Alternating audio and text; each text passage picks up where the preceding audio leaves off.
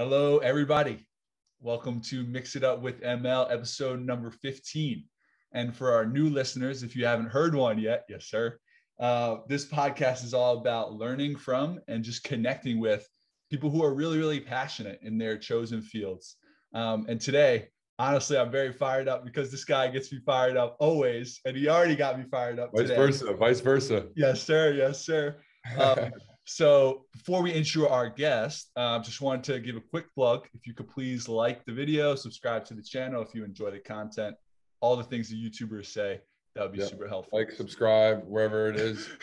Wherever the click is, the yeah, the bell. Go to that right now. Yes, sir. Yes, sir.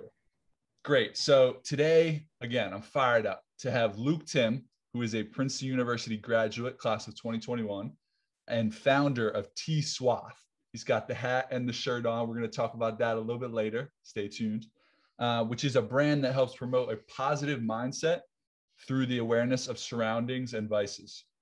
Mm. So, again, super excited to talk with Luke today about his inspirational journey overcoming substance abuse and just this brand that he has started with the hopes of positively impacting others. So thanks again for coming on, Luke. I appreciate it, my bro. Hey man, I'm excited. I, I, you know, I, uh, we, we always go back and forth on Instagram because I always love what you post and whatnot. You've been hitting me back. So, um, and when we kind of just were talking about this podcast, I was like, bro, that, I would love to be on. You're like, yo, I was thinking about having you, and I was beautiful. Let's get it done. Let's do it. Mind meld, yes, sir. Was, what was that? A week ago, right? I think so.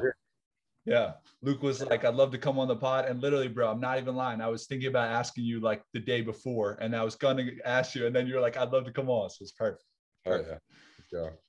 All right. So again, I just like to start these pods with a quick intro of like how myself and the guest met, just to give any listeners, you know, some context. So it's not just like two strangers today. Yeah, yeah. So yeah. Okay, so I so I was a I, I was on the football team for a while.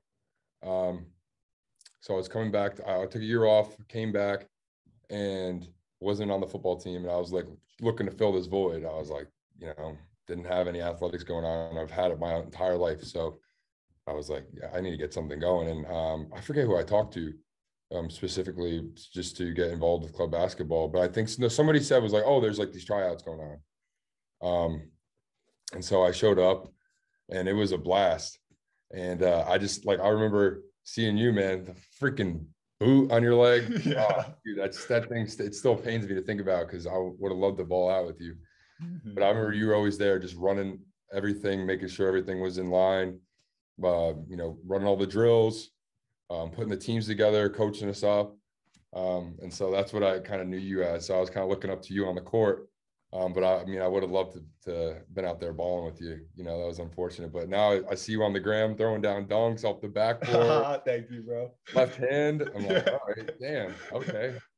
Trying to get the ankle back, bro, because that, Yeah. that was a brutal injury. And like you said, I would love to hoop with you, but I forgot it was junior fall, bro. I mean, that makes sense. Yeah. makes sense. I, I forgot which year it was, but Mhm. man, Luke Timm for the listeners, this guy is varsity football player, but came in and was just hooping for our club basketball team. So we appreciated you running with us, man. Thank you fun, again man. for that. It was real fun. It was a good time. great, great. All right. Well, I figured we could just dive right in here, brother. Let's do it. Um, so to set the stage for everybody before we kind of get into your journey at Princeton and everything, I actually wanted to ask you about your time leading up to Princeton. Um, and like in particular, it culminated like your athletic uh, success kind of culminated in your senior year. I did my research, bro, where you set a state record with about 1,600 receiving yards and 18 receptions in the state final. Yeah. And my question actually, bro, was going to be what was your mental state like during that period of your life? And even before, but especially when it culminated in all that success, right? yeah. Did you feel that you were in a solid mental space then? Or were some of those difficulties that you had to, you know, really face later on, were they lurking underneath? Like, what was Oh. that sort of like for you? Yeah, no, they were definitely there. So, um, I mean, I mean, we'll probably talk about my story, but I mean, I was drinking, started drinking heavy when I was like 12 years old. So that was always like, that was kind of always a part of my life. And so like football, so I didn't even actually start playing football until my sophomore year of high school. So I was like a cross country runner. I played basketball. And so I was like top 10 in the country for cross country my as a freshman. So I was wow. like super, super skinny, like 6'3, 135. Okay. Like stick and bone. yeah. Yeah. And I, I ran a 430 mile on the road. Um, uh, my goal was like to break four minutes at, at, the end of high school. So that was like, that was, those were my goals. But uh, eventually I, be, uh, I was best friends with the quarterback who was a freshman, started as a freshman all the way to my senior year. And uh, I was friends with him and I just started tossing the rock with him. And he was like, oh, you should come out and whatever. And so I did my sophomore year. I was on varsity, didn't really play. And but then my junior year, I kind of like blew up. And then my senior year is like the, the year I had that record setting year. Yeah. Um, and like throughout that whole process, it was definitely like I think I feel like going into high school was kind of like my downfall. Um, from like where I, I feel like I was best, like eighth grade, I was like very focused on school. Um, I mean, I still was doing crazy stuff and I was drinking at the time. It was probably more seventh grade. I was more focused. Eighth grade was a little downhill, but it all like I feel like it all kind of uh, started going downhill in a sense of like my mindset being right. And it wasn't mm-hmm. like it didn't directly correlate with how I performed because you know I I wasn't lifting the weights all year round. I wasn't doing and I would I was running around to my quarterback, but I wasn't doing as much as I should have. Not right. even close. Right. But the results in the field were there. So in my head, I was like, oh, I'm good. Like I'm doing everything right. Like I can I can do whatever I want off the field and still do what I needs to be done on the field. Right. That was like kind of my mindset, um, which definitely was not good for me. And like I definitely like my my ego was big. Mm. Um, and it was partially because I remembered being like a freshman and sophomore and being like, older kids saying to me like, "Oh, you're never going to be as good as me," or like, you know, it was, it was. I went from a weird place being like, I don't want to say a no nobody, but like not really being as known to like mm-hmm. all of a sudden being put on this platform, even though it was like a local platform. You know, it was still like a, a big deal to me. Yeah. And like I kind of like attributed it to like like I would always just go around and hear Luke Timm, like my first and last name, or just like both first names, and it's like everybody is always like Luke Timm, Luke Timm. So like I feel like people hear the name Luke Timm and it just sticks. So I'd go around places and people like, "Oh, you're Luke Timm, you're Luke Timm." I mean, and like that stuff definitely got to me. Like being a young mm. kid, um, partying all the time, Friday and Saturday nights, heavy. Um, I mean, there was a bunch of crazy shit I was doing that I shouldn't have done. Yeah, and it's like I could have gotten in trouble way, way, way, way sooner. Um, it just didn't happen and i'm lucky it did um, eventually but yeah so that was like my mind state was definitely in the same spot it was going into princeton up until my arrest and like six months after that until i kind of like got clean got sober um it was april 21st 2018 what's mm-hmm. the date mm-hmm. so yeah it's three years two months and six days right mm-hmm. Mm-hmm. So, yeah, it's been a big switch since then. It's been a progression as well. It wasn't just like, all right, I'm sober and boom, I'm like rock solid mental state. You know, I've been progressing slowly up and up and up. Um, and you know, just every day it's just a, a little battle, you know. That's right. It. Right. And shoot, well, thanks for sharing that, bro. And I'm gonna unpack a lot of that later for sure. Oh. Um, and I think it's really interesting to me how you were saying it doesn't, it didn't correlate for you at that time right? Yeah. How you you felt like you were doing things you shouldn't do off the field, but then your performance was still there on the field. Right. And like one of my questions coming in was like, do you think there's some credence to the idea that you know the things that can like really torment us or kind of like the dark side of the mind can actually make us great as well. Do you feel like that was part of your athletic success or was it not really related? Because like um, you know like mj super obsessive. Kobe right. super obsessive. What yeah, do you think about that? I think to a, a, point, yeah, I definitely have that, um, you know, that addictive, obsessive drive, drive in me, um, which to a point was good, but I feel like it also, um, you know, some of that stuff is good, but then it gets to a point where it's too much of that is, you know, any excess of anything is too much, right? And and then it translated into substances and whatnot, and that in its own, you know, if I was staying away from that then maybe I would have said no, it would have been fine. But because it, you know, when it got got into partying, you know, smoking, drinking, more stuff, more stuff, you know, it was like, all right, it it gave me that swagger. It gave me that confidence. I was never, I was always confident I was going to make the play. I was always confident that we are going to win. You know, confidence has never been something I've lacked. Like, right. that's just it's that's not me. But um, you know, I just remember like that state championship game. I played defense. I had uh, two interceptions, and I couldn't breathe though. I couldn't breathe because I was smoking so much. Wow. That like I'm in my lungs. I had a permanent cough. Like my cough was like was like two years straight of just like a Mm. smoker's cough, you know. And like when you're an athlete and you're trying to like play at the next level and be the best you can be, like you're you're not smoking like that, you know. Like, Right. I kind of thought I was like Randy Moss or something. Yeah. Like, Yeah. Right. Wasn't anywhere near that, you know. Like some people can just do that, but and I got I did do it. I did do it for a bit, but it, like it, at at a certain point, it hits you, you know. Right. For everybody, it's reality. And bro, that was literally my next question. Like, when did it hit you? When did it? When did that ride stop? Where you were just like, man, I can't do this anymore. Like, when did things start to really go south for you? Uh, was that at Princeton? And and sort of take me through that process. Yeah, yeah. It would definitely um it was at Princeton. So like I going into that Princeton that summer, I didn't work out. I didn't lift. Like I was the worst prepared person by far Wow. Freshman class. Um, I still managed to pass the condition test, which like half the kids didn't. I was just I was light, like I was always in a distance runner. My endurance is like crazy. Yeah. So I never had trouble with that. But after that point, it was like I didn't know any of the plays. I so like to the coaches, I was like, I was it was it was worse than like if you were getting yelled at, it's like at least they they gave a shit, you know. Right. But it was like past the point where they're even yelling at me. It was like I wasn't even there, you know. Right. It was like that bad. But I remember going in there like, oh, I'm not going to smoke all that stuff, and like it went like f- four or five, six days of camp, and then but you kind of just realize like, you know, st- stuff like that is out there Right. uh, you know, it got to me. And yeah, it was a very quick uh, journey right back to where I was smoking every day, Mm, waking up, smoking before a meeting, napping, smoking before practice, smoking, smoking, smoking. Like I, I love to smoke weed. And like Wow. that was something I could never, you know, people say weed's not addictive, but um, you know, it does something to your your dopamine pathways that you know is similar to whatever cocaine those other drugs that are harder obviously it's a lot less right.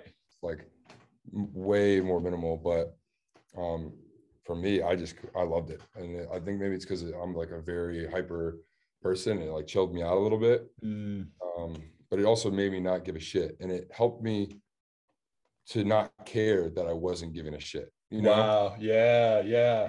So it was like i you know i maybe have anxiety about something because like normally a normal person would be like oh i have this test i got to study for it and you know if you weren't studying for it you'd feel stressed about it but i was smoking so much that it kind of just it made me not stressed about not studying so it made me even more lazy you know more undetermined and uh, yeah i felt fine doing that because i was smoking so much you know this is kind of a rough cycle where you couldn't get out of that, right? Because you were in the bad space, but then like smoking so much weed made you not worried about where you were at. Is that what you're saying? That's hundred percent. Yeah. Right. So Eh. yeah, it was it, it was yeah, it was nuts. And like looking back on it, but that's just the way I lived and like just barely getting by. Like was that was my mentality was like, oh, is that if I can just skate by, like that's perfectly fine. Just pass. You know, I finished my freshman year with a one five GPA. Like I was gonna ask you, bro, about your about your grades, like because you were talking Yeah. about managing the football field, right? But Right. you right like one five GPA, so like the classroom was tough for you too. Yes. Oh, brutal. Yeah. Yeah. It was it was all self-induced. It wasn't like, oh, this work is like not possible to do. Yeah. like missed assignment here.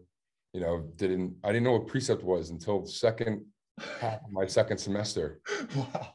I failed out of a class because I didn't know that Yeah. precept was a thing. Wow. Yeah, it was really bad. Like I didn't go to any of my orientation stuff, so I didn't really know what was going on. Right.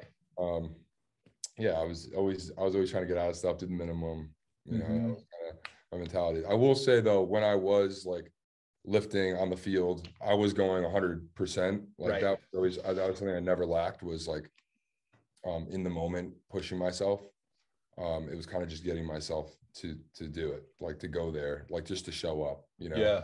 Yeah. um, but like the extra stuff um, studying for the plays and whatnot was not something I was going to do because I, you know, I was getting my minimal stuff done. I would smoke, right? You know, and but like once I was on the field, like I was, whatever. I didn't care that I was four string. Like for me, that was fine. I I would go as hard as I could on four string. Like that was always a good mentality that I think I carried with me throughout everything, even through all that shit. Um, mm-hmm. Was that I was when I was present on the field, I was working hundred percent. Right that that was it and like but it that's like that's like what we were talking about before we got on the show it's like yeah i can work hard for my nine to five you know i can work as hard as i can during my nine to five but then once that's done it's like if i just chill out everything yeah. i want to get that i want to do that's not just that it's you know you're not gonna be able to build off that you know? Mm-hmm. so that's kind of like the mentality i had. Right. And bro let me ask you this. What was what was the people around you saying to you at that point? Friends family did people know? Did they not know? What was that like for you? Yeah so like um, i'd say starting at home it was like i was very unin touch with my mom like she you know our relationship was basically nothing like you know in high mm. school we had a bad relationship just because i was always off doing what i wanted to do um and she was very strict so we we've we uh butt heads. Really butt heads. So yeah, I didn't have a good relationship with her in college, but she, you know, she knew what I was up to. Um, and then like friends, you know, there was guys on the team who were kind of like, all right, this guy is a shithead, but like most, a lot of people loved it, you know, because like I was the funny guy, and I, I still am. Like I didn't, I didn't realize that I didn't need that stuff to be that guy, you know, yep. that like makes people laugh and stuff like that. Um, but yeah, like some people, you know, bothered some people because they're like this kid doesn't give a shit, you know, and like I understand because you you know you're on this team, you work hard, but it requires 120 guys to work hard, and if, yep. You know your success is a part of other people doing their jobs. So if someone else is slacking off, it's like you're you're, you're coming to my livelihood and messing up what I'm doing. You know, right? I totally understand that, but you know, a lot of people, you know, I had that reputation as like a kid that was just, uh, I don't know, just partied and had a good time. So like I I definitely thrived off that in the moment. Um, but yeah, there's you no know, there's some there's probably some people that were worried about me, but I feel like I don't really remember too many people um, you know, really saying like, oh, you should stop doing this or stop doing that. Right. Not not to say that people didn't care. I think it was just that um, you know, I'm a I was I was a grown man. I was 18 years old, you know. Like yep. people you're making your own life decisions at that point.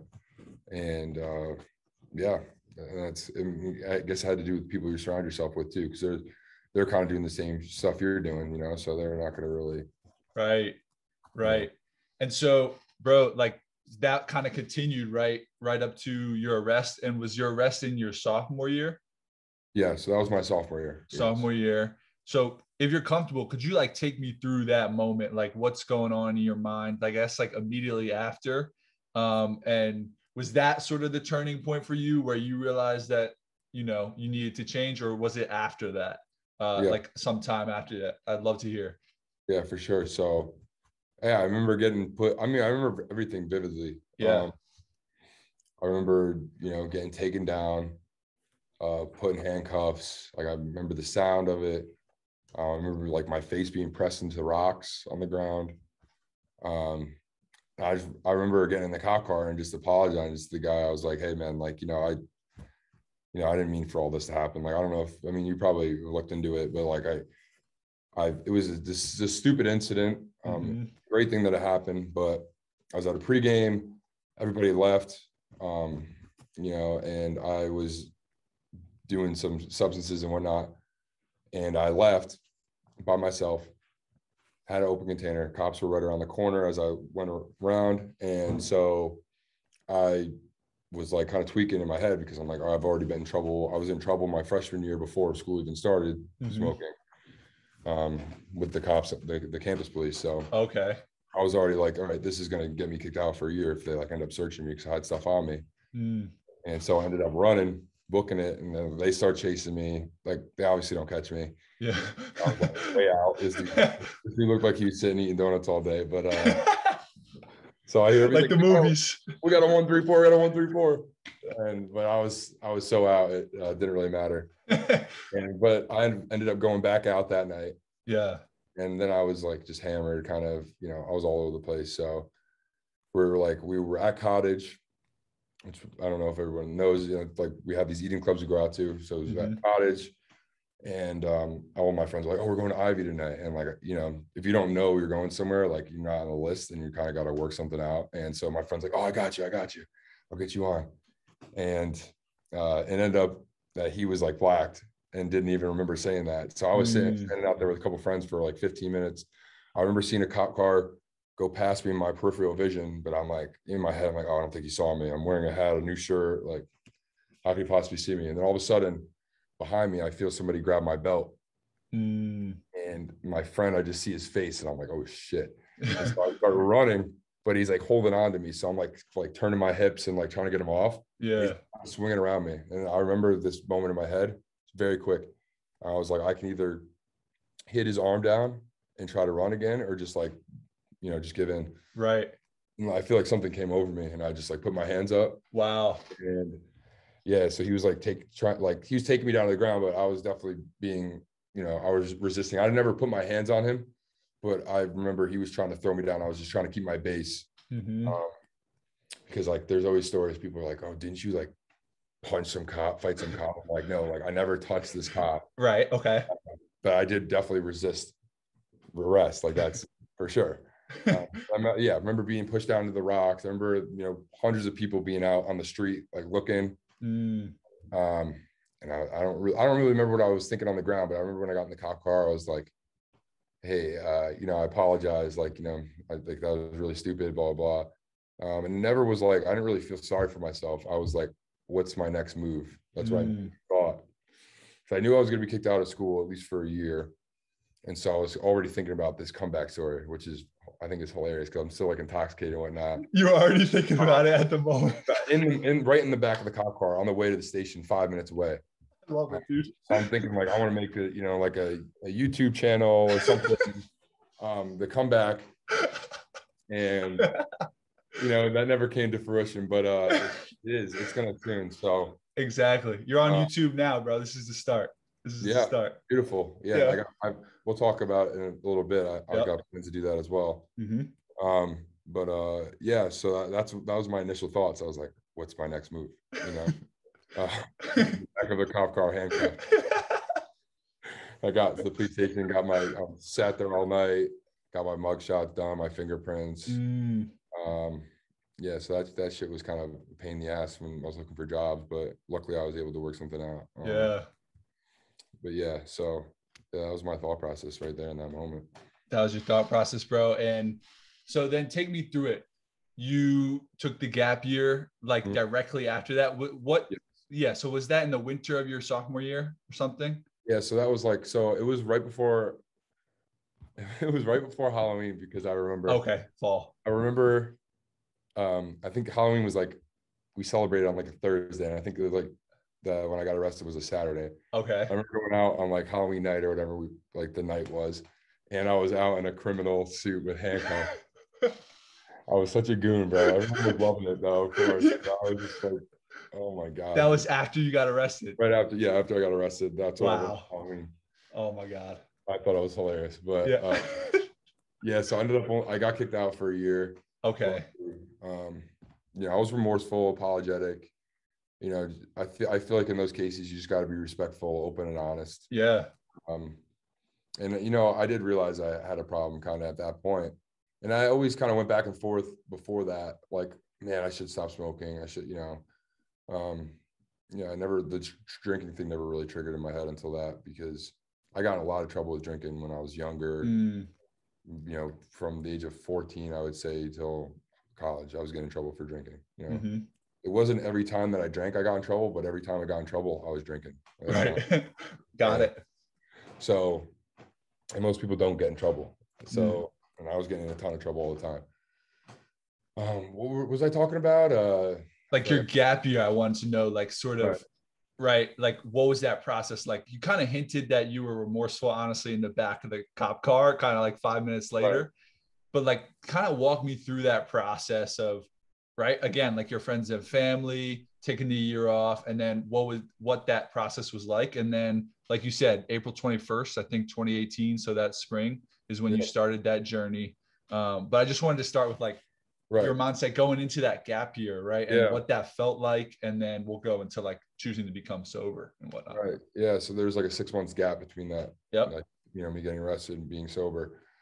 But yeah, I remember the initial thing was like, you know, I already had that bad relationship with my mom and my sister. I don't know if you know, she's at Princeton right now. She's going to be Okay. a senior this year. Um, so she's a great track cross country runner. Mm.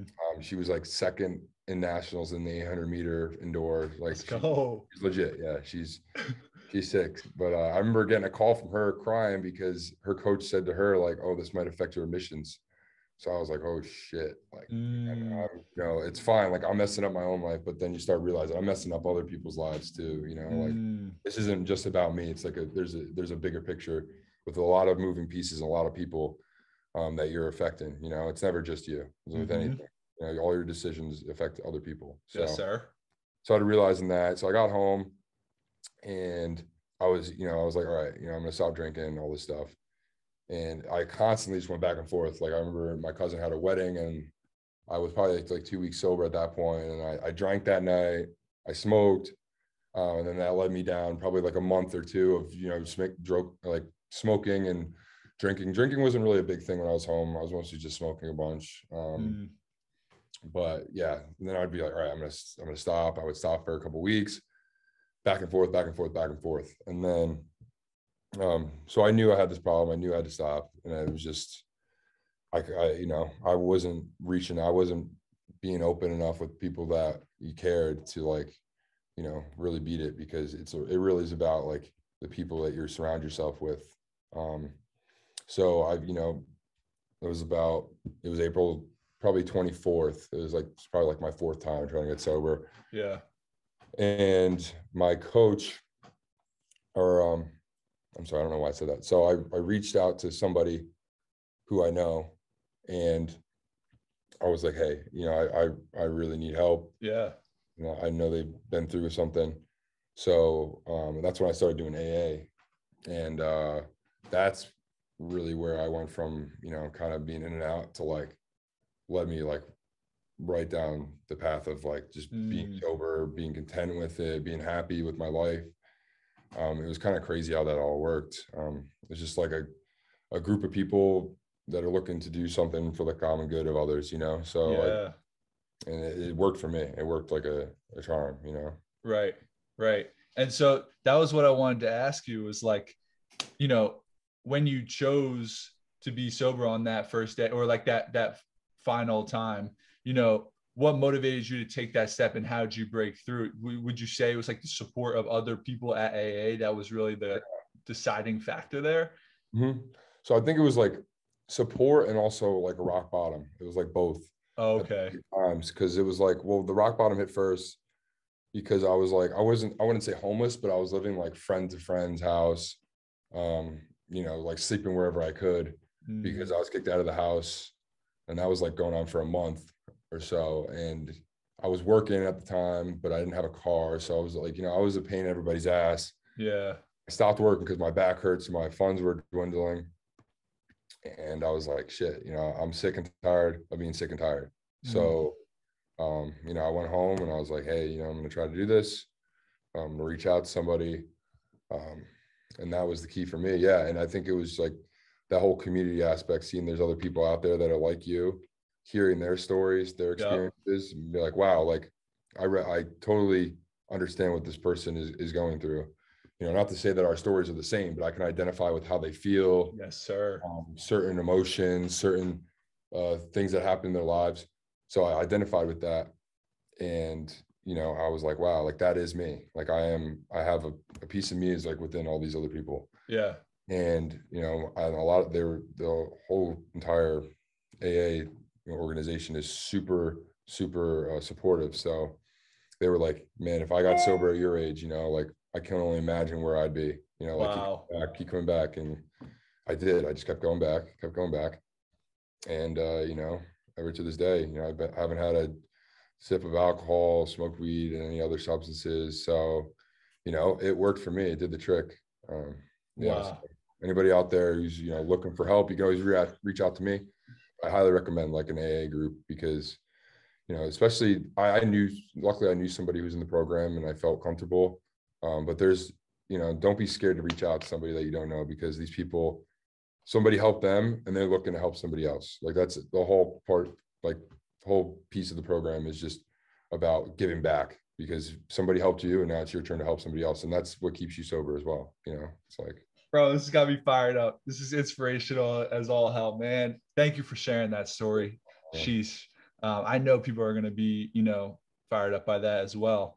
And my my question would be like, when you start, when so you chose to do that, right? Was your goal like set at like one day or like one week or like one month? What was your mindset, or did you? Like aka did you have the the goal of being sober for a short period of time and just making it to that next meal so to speak like mm-hmm. as the navy Right. seals say? Or was your goal like did you envision you were saying like what's my next move? I feel like you're you're a visionary kind of guy. Did you envision what your life would be like years down the road like sometime today if you were sober? What was your mindset when you went into that? Yeah, so I think I've always had a vision. Like I've always been like, oh, in five years, like I can see myself doing this. And like when I was drinking and doing all that stuff, it wasn't realistic. mm-hmm. And when I started to, you know, I got sober and started to get organized. And when I, I was like, wow, like there's actual these goals that I want to achieve are obtainable. right So yeah, I was definitely looking ahead, um, and just seeing how much potential I had, and like you know, with just being clean and like staying on the right track. But then also, you know, like they say in the program, one day at a time. You One know, day at a time. like you said, the Navy SEAL said, just get into the next meal. yep You know, yeah, you know, if you look too far ahead, you're gonna stumble over your own feet. You know, so it's like you got to just stay in the moment, um, because you know, like they, you have like seventy thousand different thoughts a day, like that. So it's like you know, there's constantly you're battling with something on a day-to-day basis. You know, so it's kind of just trying to stay focused, be present in the moment, um, because you you never knew like when if there was temptation around, or um, you know, like you just might have the urge. And luckily, I really don't remember ever having an urge after that point. Mm, I mean, I can even now I could s- still sit here and be like, oh, like I kind of remember what it was like to smoke weed. Like it definitely was nice, you know. Yeah. Like I'm not gonna sit here and be like, oh, like drinking all that stuff wasn't enjoyable because Right. like it was. There's a reason why you do it, you know. Like it was enjoyable, mhm. um, but I realized one, it wasn't for me, and two, was not aligned with my goals, and it was like affecting other Mm. people.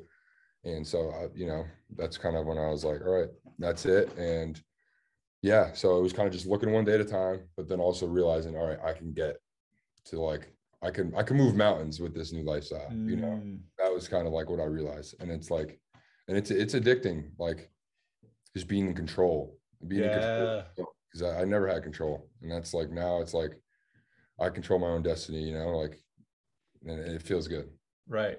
So that was your mindset, bro. And then we talked about the importance of AA. But like, I guess outside of that, were there any, if you could take me even through like these specifics of like, were there, Mm. what were like the two to three most important factors or like strategies you employed? Uh, you said you didn't have many urges, right? Which is great. Yeah. But Yeah. like, what did you do on that day to day basis? Like, did you replace your time drinking with doing something else? Or like, 100% walk me through like sort of those factors that in, in the concrete that really helped you if anybody's listening you know? Yeah. yeah for sure. Yeah. And it definitely was. It's always uh you know you're filling a void when you're doing that stuff you know? Whether you realize it or not. Um you know and like some people that do it on occasions like that's fine you know it's for events whatever. Mhm. um but like people that are doing that on a consistent basis like you're you're filling some sort of void you know? Yep and so what you got to do when you stop doing that stuff is like you still have to fill that void with something else or else you're going to drive yourself nuts so that's when i went crazy with working out um, okay I probably I've I work out six days a week, lifting. I'll do something on the seventh day, like you know, be, I'm always proactive with that. But uh, yeah, it was just immediately went from my first day sober. I I have this picture of myself. I think you've you i probably love it i love it dog holding up 421, 18 on a sign, Mhm. um, because that was like that was the low point of like my physique, my mental state, like all that, all this stuff. And I was like, all right, you know, let's see where I can go from here Mhm. and like physically like i feel like that's a huge part of it is like if i didn't have this um like if I was in love with fitness and like, you know, just like seeing myself in the mirror and like loving the way I look, Yeah. mm, you know, that's that stuff's a big motivator for me to stay sober because I'm like, you know, this clean lifestyle is elevating all that stuff. Mm, Um, and so that that stuff definitely helps me. And I feel like if I wasn't doing that, it I don't know what I would even do with my time, you know. right. Like, Right. Um, so I don't know. Uh, it was definitely the working out was probably like the first thing that I had to fill the void. But then I got back to school, um, and I was just working out on myself and like doing school, and I was like disconnected from football, and I was like, oh man, like I missed that, you know. Um, that's why I started playing club basketball with you guys, Yes, sir. coming boys with you guys, and that was that was a hell of a lot of fun Yeah. and I was like, you know what? I feel like I still gotta, you know, make this return. And like I, I did plan on it coming back into my sophomore year, but my coach wanted me to take my time. You know, he knew how crucial it was for me to stay in the right mindset, Mm, you know, stay on this road to sobriety and whatnot. So he's like, you know get through your first semester, we'll stay in touch. And then second semester, we'll get things rolling. But during that first semester, I was like, I was always like, oh man, I, I, want something to do, you know, because I was I was working out, um, but my social, I think my social life, my sophomore, that second sophomore year was like my like the least interaction I had with other people. yeah.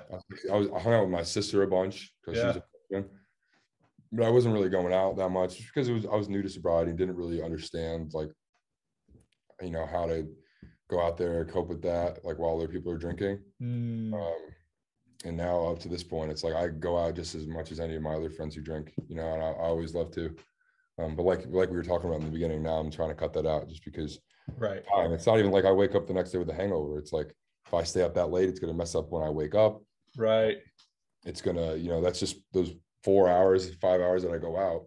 It's precious time that I'm losing as well. Mm, You know, so I that's why I'm trying to cut all, all that stuff out. But it's I went from my sophomore year, you know, and barely ever wanted to go out to now I love going out and seeing people, you know. But, Yeah. uh, that was definitely like a weird spot where I was like, how do I do this whole sobriety thing and like social, not like social interaction on like a day to day basis, but like in like a big like crowd settings while everyone's drinking. you know? mhm.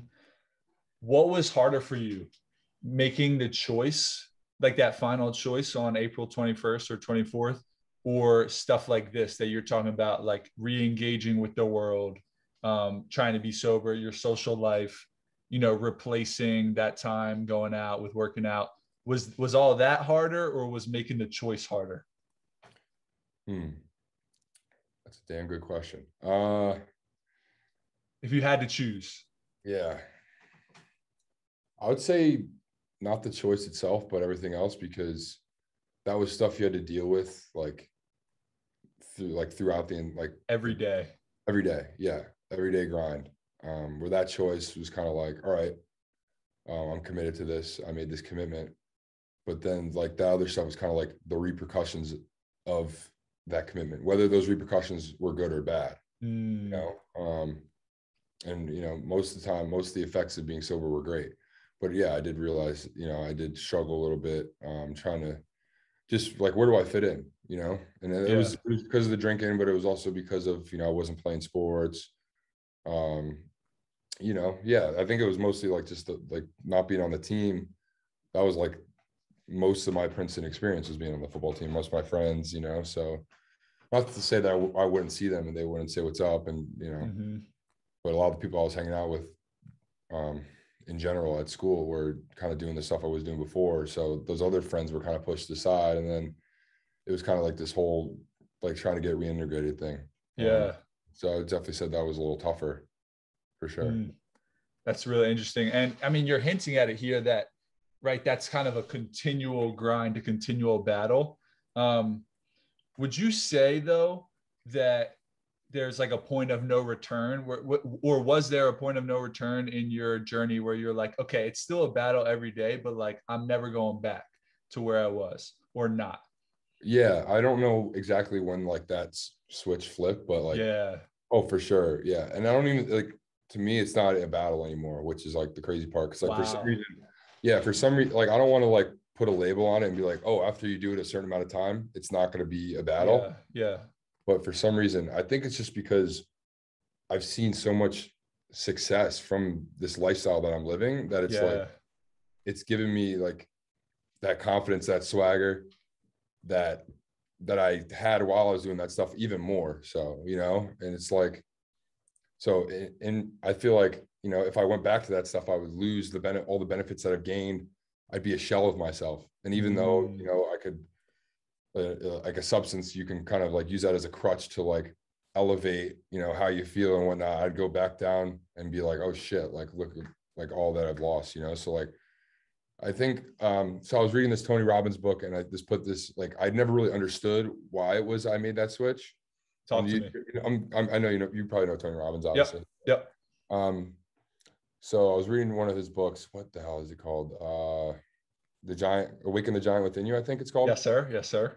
And it talks about our relationship with pain, and so basically, what I come to realize is that there's either we either we associate pain with things that we don't like, right? And then um, we associate pleasure with things that we do like. And basically, what we do on a day to day basis, without us even realizing it, is that we have to we unconsciously weigh the the plus or minus of the pleasure or the the gain that's about to happen. You know, mm-hmm. so um, for somehow I tip the scale from going to oh man, you know there's too much pain with like working hard and whatnot and like there's all this pleasure to with you know this drugs and whatnot and like you know that's why i chose this i escaped the pain right? Because i didn't want to do all that work and mm-hmm. you know i didn't enjoy that and i you know received immediate pleasure. So for me it was like in that time it was such an easy decision for me to make. But then over time you know that's that's bad things keep happening bad things keep happening. And then you start to associate so much pain with the stuff that gave you pleasure because that stuff was not sustainable. Mm. that it all of a sudden all those things that caused me you know that i had so much fun with were caused me so much pain that it became okay this is way too much pain for me to handle at this point. Like i it just clicked in my head like mm. way too much pain.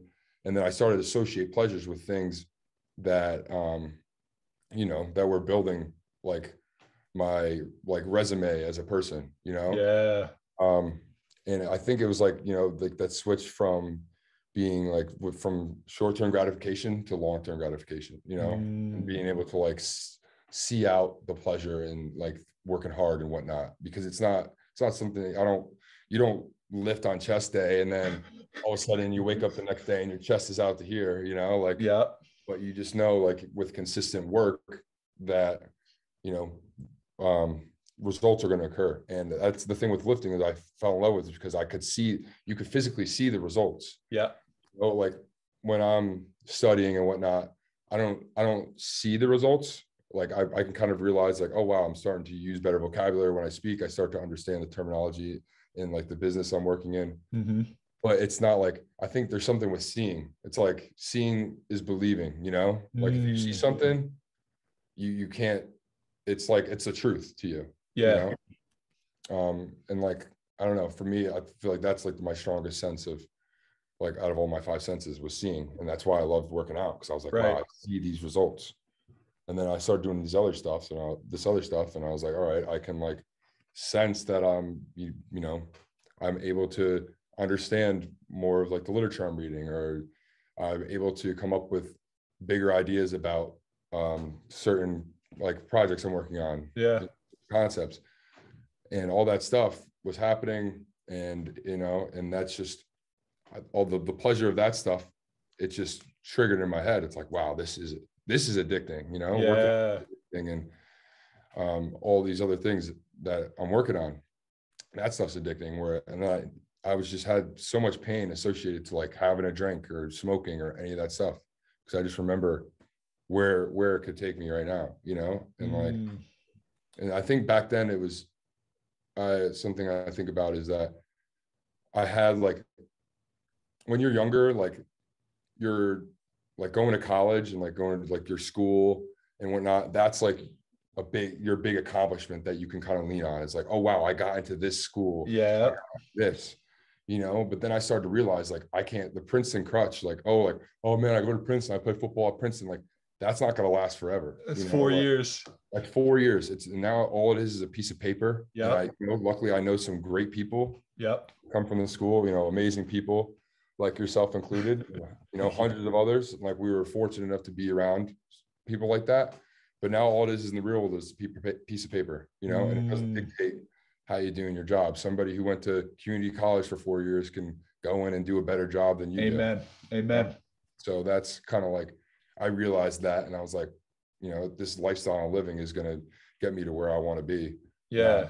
All that other stuff, you know, and I can't rely on anything like, you know, that Princeton uh, name on my resume. To it's not going to do the work for me.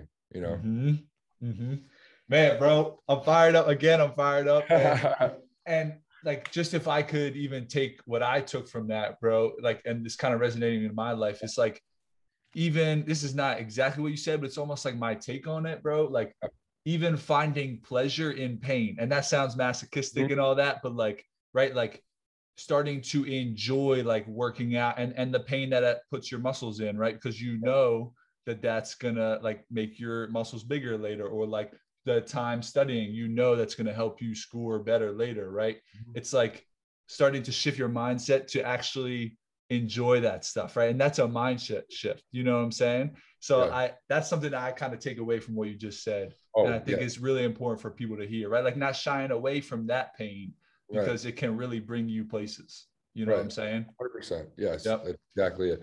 Are you do you like um you follow like Goggins or Jocko? Of course, guys? of course, dude. Yeah, man. My, my guy Goggins. I- my friends. Stay hard. Fun of me. Stay hard. Stay, stay hard. Merry effing Christmas. Yeah. But uh, yeah, dude, Yeah. I- exactly. He was always just like, in life, you're always going to encounter pain, no matter Mm. what. So it's like, instead of just shying away from it, it's like, just do it. Like, just do things you don't like to do. Yep. That was that's what he said. He- it was like it's nothing he says is like spoken like beautifully or eloquently. Like he's not like persuading you through these like crazy elegant arguments. You know, Logical. Yeah. Like like one or two liners and they just make sense you Mhm. know and it's just like I, that's why i like a guy like him it's because anybody on any level can understand what he's talking about you know Absolutely. And it, none of the shit he says is fake it's not okay you do this 90 day program with us and he's just like no work hard hmm work hard results are going to happen and then, then people have to realize that's as simple as it gets it's if you work hard, good things will happen. That's Mhm. it. There's no secret success. You know, there's no way of getting around that. yep. You know, you're not gonna be able to work three hours a week and get the results that you want. You Yep. know, you got to work hundred hours a week, and then maybe one day you will be able to work three hours a week. it. But that's not how life works, and people are looking for that shortcut. And it's just no more of that shortcut. You know, you can't do it. Bro, speaking to my soul here, speaking to my soul. Mhm. I think we're at a perfect point to kind of like be at this last third of the, like this last little part of the pod here of just Mhm. like the decision to found your brand, bro. Yeah. Um, where like, could we just talk about that, right? Like your decision to do it. What is the message? Where can people find it? Uh, like, what is your vision for it? Talk to us about that um, for Okay. our listeners. All right. Yeah. So, um, so the brand is called TSwathe. Yep. You uh, you said Suave before, but T-Swathe. you're. My bad. You're good. No, you're good. T-Swathe. Everybody's everybody says that because it is it's pronounced both ways. It's Yeah. or suave. uh-huh. Um, and so basically, I've had this idea for years. Like I think it was like um, it might have been before I got sober, honestly. Yeah. Um, just I wanted to make clothes. I don't know why. Um, yeah, but it had nothing. I didn't have the vision of like what the brand is going to be about or whatever. Um, but like, yeah, probably two years ago, I started to really get serious about it. Um, and I was like, you know, what, I want to make some sort of clothing brand that has the message behind like what I'm I'm living, you know. Right. Um, and so I actually like that's probably when I started getting serious about it is when I got it uh, tattooed on my forearm right here. Okay. Okay. So I got some new ink, new ink, but yeah, this is right here. Tough. And uh, yeah, probably one of my my addictive personalities definitely transferred to tattoos. Like I got my sober date right here. I dude, I love that one. It's great. Um, yeah, appreciate you, bro. So like, I definitely still have addictive uh, tendencies, but Channeling them elsewhere.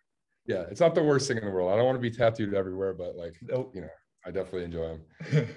But yeah, so TSwathe. So um, the swathe is like a word that means to wrap around. So I always had this like concept of people, places, and things. What we surround ourselves in is like dictates what we're going to be like. Because I, mm-hmm.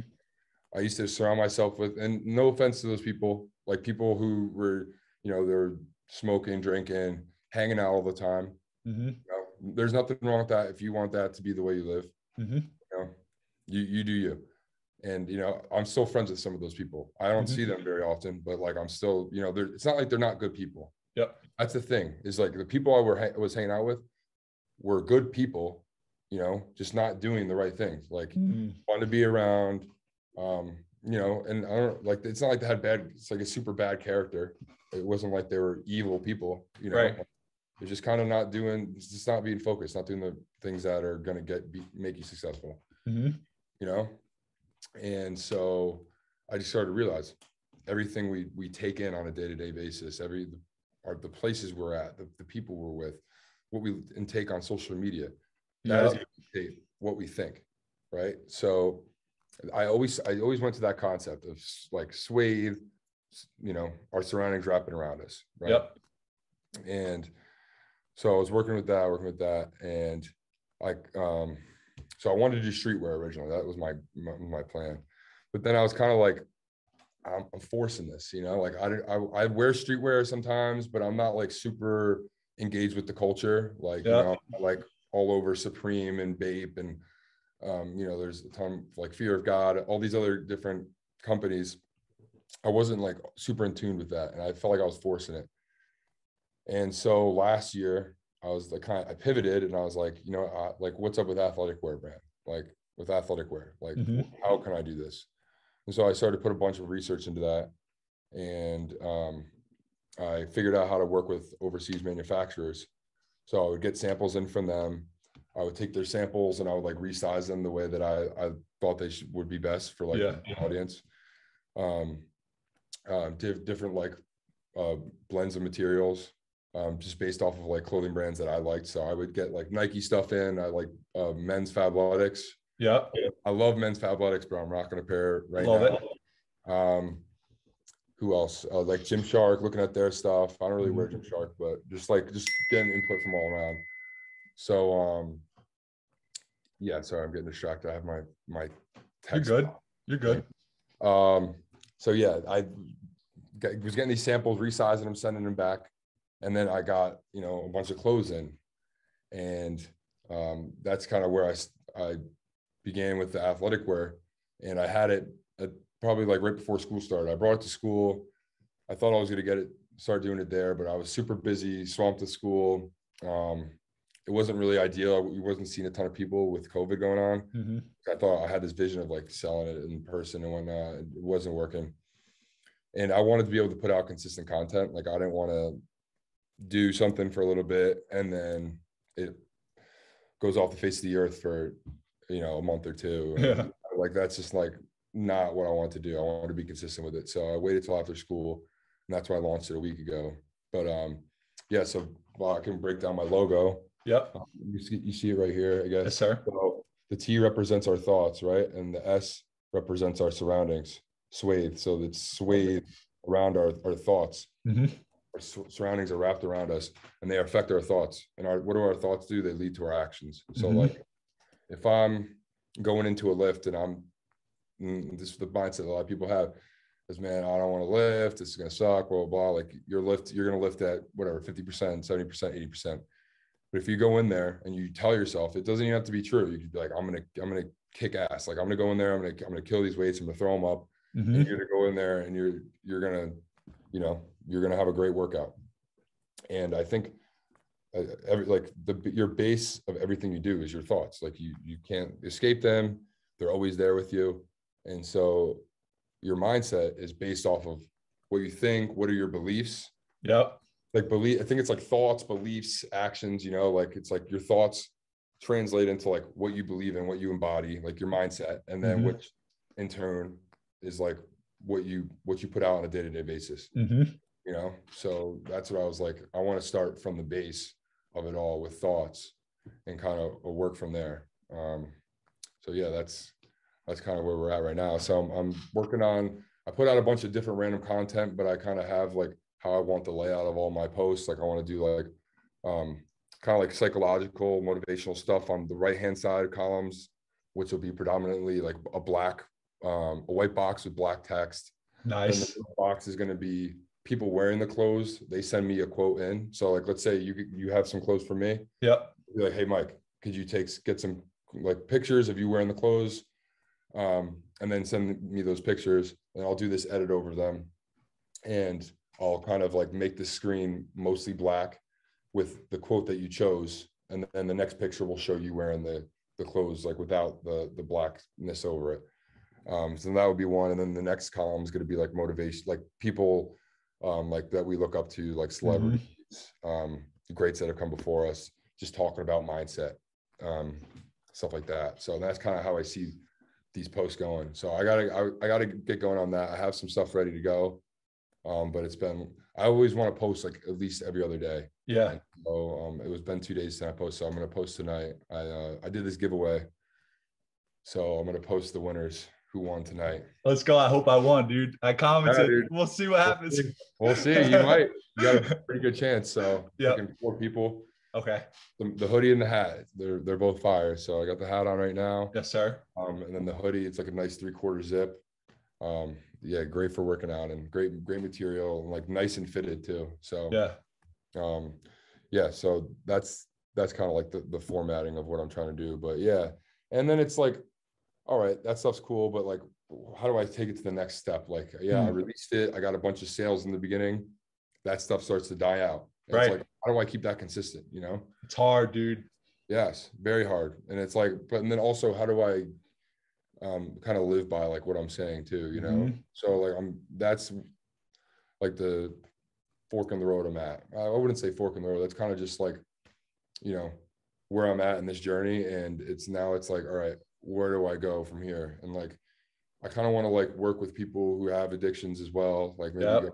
do like rehab centers and that wasn't something i personally did but um you know it's like however you need to like get it done you know for mm-hmm. me i didn't have to do that like aa was like my rehab um but you know i i don't know if it's like go to these rehab places and tell my story and then just be like hey like this is how i feel my fire is like through fitness. Yeah. Um and like try to maybe like bring them under my belt and like show them how to work out and like or just like build like that team environment um something like that. So that's kind of where i'm at. Um and i want to start putting out youtube content. So there's like all these things i want to do right? Yeah yeah I, there's only such little time that we have. I'm working a nine to five, right? Yep. I want to. I'm putting in extra work for my nine to five because I want to take in as much knowledge as I possibly can, progress as fast as possible. Yep. Then there's other things on the side that I want to do. So yep you know, I quickly realized there's not enough time in the day for me to do what I want to do. Yes, and sir. Still, still have a healthy enough lifestyle where I can like, you know, go out to dinner here and there, you know, go see friends a, a night or two a week, you know, mm-hmm. Still it's not all the work. You can't always just work. Amen. So what I'm kind of trying to do now is like just get people aboard who I think would be that kind of fit like the stuff that I'm doing, like them have that same mindset um and it's like almost like i'm kind of thinking about giving equity of myself to other people like interesting um, so i want i'm trying to look for a videographer i got to start putting it out there but it's it's not going to be like i'm gonna be like hey i can't really pay you like i'll I, you know, i'll feed you if we're on the like we're doing stuff and whatnot but like really what you're going to be doing is like you're going to get equity of like my youtube channel you mm-hmm. know like you'll mm-hmm. get 20% 25 whatever the number is of you know, eventually once it's monetized and making money, that's something right. you'll like. If you're working in the clothing brand, you do this, you get a piece. Because what I started realizing, like, um, a quote I like to use is, you know, uh, a hundred percent of a million dollars is nothing compared to ten percent of a billion dollars. You know, yeah. It's, it's don't try to spread yourself so thin. It's like let delegate stuff to other people, get them involved, give them equity. Mm-hmm. Because when people have equity in something, they have skin in the game. Mm-hmm. They're motivated to work on that because you know they're they see this this thing that you're building, and when it's growing and growing, it's you know it's affecting them like it's their baby as well. right, know? right. That's what you got to do. I don't like I could pay people like it's not like I'm not like I you know I have a pretty good salary Yeah. I could pay people, but it's like um, for me, I just feel like that's um, it's not going to really get somebody super motivated. And plus, it's like it'll it will drain your pockets too if you're. Mhm. It depends on like the quality of stuff you're trying to get and whatnot. So I, for me, it's more like get people involved with similar mindsets and like, hey, let's work on this thing together. You know, That's it. That's it. yeah, Bro, I just want to say I'm wishing you best of luck there. I know it's a it's a grind, right? Like I'm experiencing it on a small level with something I'm not even trying to monetize at the moment, right? But just like staying consistent with this podcast, it's hard, I know, but I just want to give you that encouragement. Keep it up, bro, because it's worth it. it is hundred percent. Absolutely, bro. And bro, like this last question I have for you is like, if you had to give a listener, right, one piece of advice um, as they're trying to overcome addiction, substance abuse, whatever it is, like what would you say to them in this moment? Hmm. So I'll, I'll say two things that. The first thing I would say, the first thing I would say is, um, I want to say, one, if you if you know you have a problem, you know, don't be afraid to like reach out to somebody, go look for help because you know help is not going to come to you. You know, Mm. like it's like if you don't put yourself out there, you're not going to be able to get the help that you need. So I think the big thing for me was that was my big step in sobriety was just putting myself in a vulnerable position, saying, "Hey, I have a problem." You know, Right. like that is that's the first step in AA is just admitting you have a problem.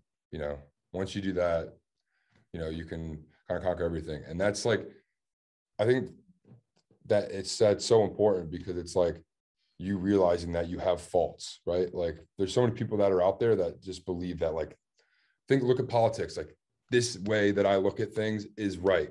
Like, Correct. No, like no, the way that I look at things is right. And like just being able to say to yourself, like, hey, I'm not perfect. Like I have problems. Like Mm, you know, most of the time when I do things, I do them wrong, you know, whatever that is. And just be vulnerable, look for help.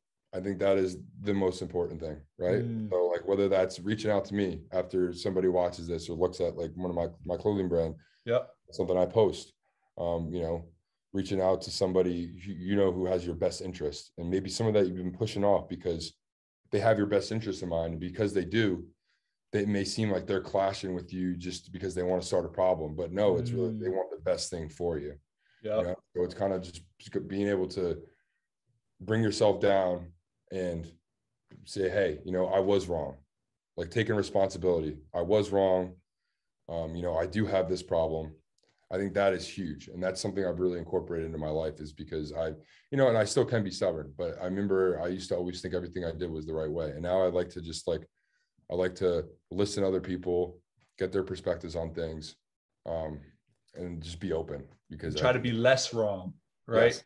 Be I wrong. love that. I love that. yes, yes. And uh, I think my the advice that I always tell kids when I see them, Yeah. um, because like because I'll be out, I'll play pick up basketball and whatnot, and like kids will know who I am, and like I like to just like talk to them for a little bit afterwards, and then Right. I'm not giving the whole speech, but I just say, hey, like all this stuff like that you're having fun doing, like going out, um, whatever, whether it's just playing video games all day, like that stuff, it's it's satisfying in the moment, it's nice, but like that moment's gonna fleet and like you're still gonna be Mm. left in the same spot you are. So like the one thing of advice I would say is just the one thing I would say is that like you'll never regret working hard, you know, Mm, you'll never regret working hard. And because I know I have a lot of regrets and they're not regrets that I can can't live with. I'm not, I can't, I don't, you know, sleep right before I go to bed, sleep every night. I'm not thinking about like every night. I'm not like, oh man, like if I trained really hard and did all this, I could be in the NFL. Like that is like one of something I do think about is like, man, I I did all the wrong things and was still really good at what I did. yeah. Like, what if I went down the right path and knew what I knew now? You know, But Right. you can't you really can't play that game with yourself but like just looking back from my own experiences it's like i don't remember going out to these parties and you know That's it, bro. and then smoke like smoking every day i don't remember what i was doing i can i barely i barely have memory in all those years of of smoking like i swear i can't remember like these certain moments anyway but it's like the things that are going to matter most are you know the things that you're working towards and it's like you can choose to put a little time into them or you can choose to put a ton and you'll never regret to choose choosing to put a ton of time into those things Absolutely. Being intentional, bro, about what you put your time in, right? Like 100%. whether it's like you said, your job, uh, you know, your side business, like even your friends, your social life, right? We talked about how that's important. Like putting effort into that and doing what you want to do is important, but being intentional and not just letting it slide and letting your time go down places that you know you wouldn't otherwise want it to go, right? Yes, and you meet you'll meet tons of people on the way that are just like, man, thirty years ago, I, I should have I should have been doing this, and or you know, and like, and and there's nothing wrong. Like like I say, like there's some people that would just love to like live on like a a three bedroom house on a farm and like just raise their family, and like that's great. Like those mm-hmm. goals are perfectly fine, but like, you know, if you're trying to grow and do something big, you're gonna have to put that work in, and even if even in that situation that I just said, I don't want to like put that down. you Yeah. know?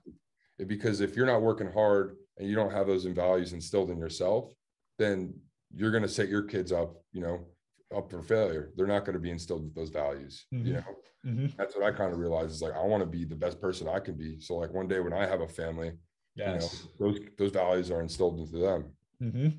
And it's like, like we, like we were talking about before, everything that I do has repercussions for other people. Yes. like by making myself the best I can be, it's going to affect other people positively.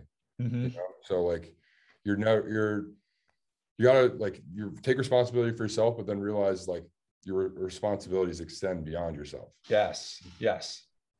Bro. Wow. Amazing. Dude, this I love it. I'm so thankful I'm that you time, dude this is great this is great i just love absorbing your wisdom and your knowledge and again i'm fired up on this sunday i feel like i'm about to go run a, a marathon or something i don't know but i need i need to keep feeding myself with Luke Timm energy for sure um Yeah, I'm, I'm. Come on, I'm always. I've always see your posts, and I'm like, oh man, I love what he's putting out there. I'm on the same page as you, my man, and that's. Yep. And that's who I try to surround myself with too. You know, like my friends are like that as well. Mhm. And it's like once you you're feeding off of people who have the same mindset as you, powerful. You That's know, it. look for people like that. Look for people who are looking to grow and put in extra work and do these extra things. Because if you're with people who are complacent, like, oh man, let's go watch this movie. Whatever, let's do this, let's do this. It's gonna be hard to say no to those people. Those are your friends. And like, yeah, Mm-hmm. you want to like you want to hang out, you want to be with your friends. But if you're with your friends and they're always working hard, you're gonna want to work hard too. yep yep Surround yourself with greatness and you'll be great. That's it bro like drop listeners if you made it this far you're a real one thank you brother Luke Timm for Dude, thank taking you your time me, dog No, I thank you, appreciate my it. man. No, seriously, I I love coming on and like I love I love talking about my story. I love sharing. And dude, it's been a while since we caught up, so I'm, Yes, I'm really glad. You know, like I, I love that we did the podcast, but uh, you know, it's great getting in touch with you and like let's keep in touch because you know I love your energy, bro. It's it's contagious. You're exactly the type of person I'm talking about. You know, anybody that's listening to this right now, friends with Vito, stay close to that, man. Stay oh man. Seriously. You're too kind, brother. For the listeners, we're gonna jot Luke Timm, his uh TSwathe website. Yep, Instagram, yes, everything. We're gonna drop it in the in the links everywhere. I got y'all. Appreciate Go check it man. out. Everybody, thank you so much. Peace. Thanks. Peace.